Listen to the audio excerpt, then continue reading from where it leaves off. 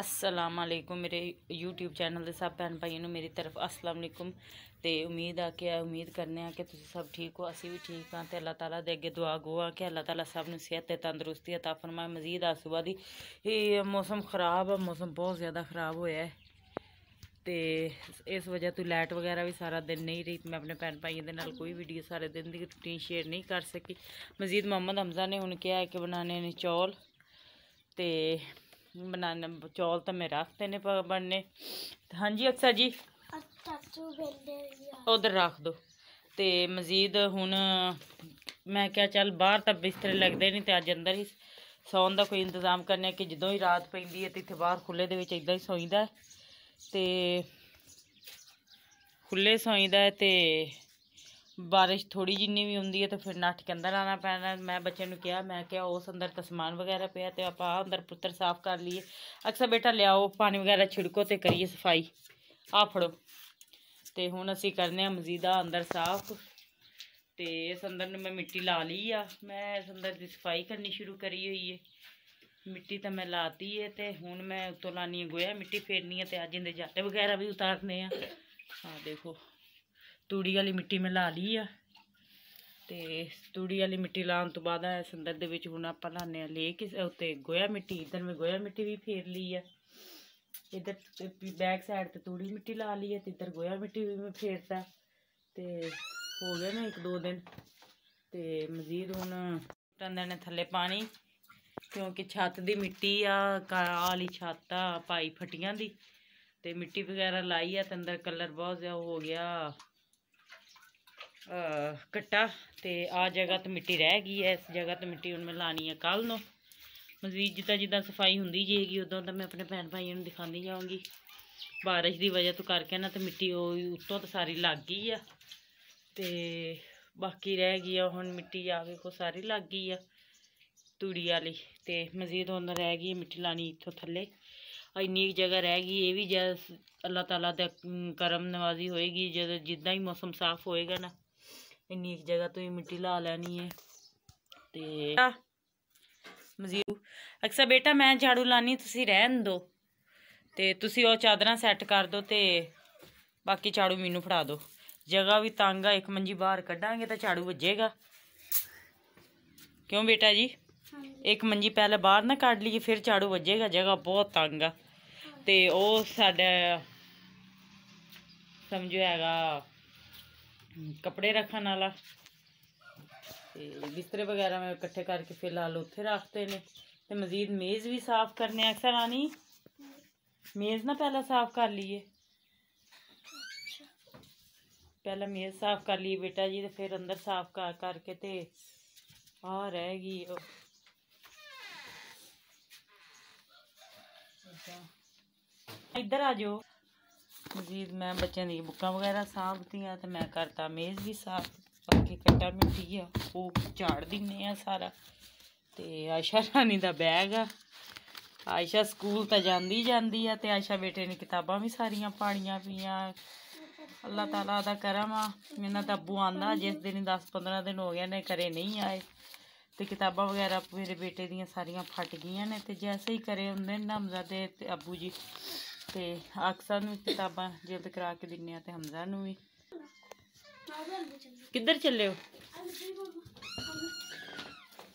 ਖੜ ਜੋ ਤੇ ਉਹ ਹਮਜ਼ਾ ਨੇ ਬਣਾਇਆ ਵਾਸ਼ਰੂਮ ਕਿਉਂਕਿ ਨਲਕਾ ਹੀ ਆ ਤੇ ਨਲਕੇ ਦੇ ਅੱਗੇ ਇਦਾਂ ਹੀ ਚਾਦਰ ਤਾਣੀ ਦੀ ਚਾਦਰ ਤਾਣ ਕੇ ਤੇ ਮੁਹੰਮਦ ਹਮਜ਼ਾ ਨਾ ਕੇ ਤੇ ਨਾ ਲਿਓ ਬੇਟਾ ਜੀ।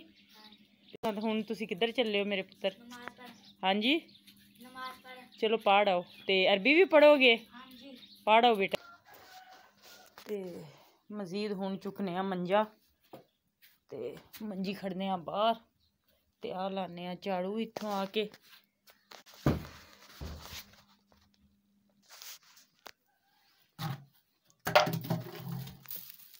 ਮਜ਼ੀਦ ਪਾਣੀ ਤੱਕ ਸਾਰਾ ਸੁੱਟ ਕੇ ਗਈ ਆ ਤੇ ਮੈਂ ਲਾਨੀ ਆ ਝਾੜੂ।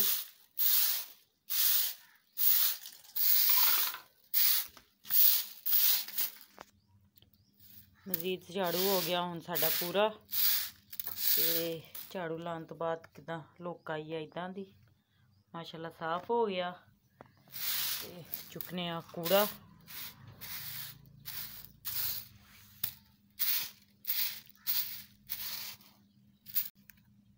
ਚੁੱਕਨੇ ਹੁਣ ਕੂੜਾ ਚੁੱਕ ਕੇ ਤੇ ਮਜ਼ੀਦ। ਚਲੋ ਜੀ, ਹੁਣ ਕਰਨੇ ਆ ਚਾਦਰਾਂ ਵਗੈਰਾ ਸਿੱਧੀਆਂ। ਉਹ ਵੀ ਕਰਾਉਂਦੇ ਹਾਂ ਤੇ ਮਜ਼ੀਦ ਸਾਰਾ ਸਾਬਣ ਲੈ ਕੇ ਚਾਦਰਾਂ ਵਗੈਰਾ ਵੀ ਧੋਨੇ ਆ ਤੇ ਮਜ਼ੀਦ ਬਣਾ ਇੱਥੇ ਲਿਆਉਂਦੇ ਆ ਇੱਕ ਮੰਜੀ। ਮਜ਼ੀਦ, ਮੰਜੀ ਡਾਤੀ ਆ। ਸ਼ਾਮ ਦੇ ਬਿਸਤਰੇ ਹੋ ਗਿਆ ਸਾਡੇ ਤਿਆਰ। ਆਸਰਾਣਾ ਗਿਆ ਇੱਥੇ। ਤੇ ਮਾਸ਼ਾਅੱਲਾ ਦੇਖੋ। ਬਿਸਤਰੇ ਕਰਤੇ ਆ ਮੈਂ ਤਿਆਰ ਸਭ ਦੇ। ਤੇ ਅੰਦਰ ਦੀ ਸਫ਼ਾਈ ਵੀ ਹੋ ਗਈ ਹੈ ਹੁਣ ਬੱਚਿਆਂ ਨੂੰ ਦਿੰਨੇ ਆ ਸ਼ਾਮ ਦੀ ਰੋਟੀ। ਰੋਟੀ ਚ ਅੱਜ ਹਮਜ਼ਾ ਦੀ। ਹਾਂਜੀ। ਫਰਮਾਇਸ਼ ਤੇ ਪੱਕਿਆ ਚਾਵਲ। ਹਾਂਜੀ ਬੇਟਾ ਜੀ। ਕਿਧਰੋਂ ਆਏ ਹੋ? ਹਵੇਲੀ ਵਿੱਚੋਂ ਕੀ ਕਰਕੇ ਆਏ ਹੋ ਜੀ? ਹਾਂਜੀ। ਬਹਿ ਕੇ ਆਈ ਹੈ ਕਿਉਂ? ਕੀ ਕਰਨ ਗਈ ਸੀ ਉਹ ਹਮਜ਼ਾ ਅਕਸਰ ਬੇਟਾ ਅਰਬੀ ਪੜਨ ਗਏ ਨੇ। ਤੇ ਤੁਸੀਂ? ਤੁਸੀਂ ਅਰਬੀ ਨਹੀਂ ਜਾਣਾ? ਨਹੀਂ। ਕਿਉਂ? ਦਰਦ ਹੁੰਦੀ ਆ ਕਿੱਥੇ ਹੁੰਦੀ ਆ? ਪੈਟ ਵਿੱਚ। ਇਹ ਤਾਂ ਬੇਟਾ ਲੱਤ ਹੁੰਦੀ ਆ ਇੱਥੇ ਦਾ ਖਾ। ਕਿੱਥੇ ਹੁੰਦੀ ਆ ਦਰਦ?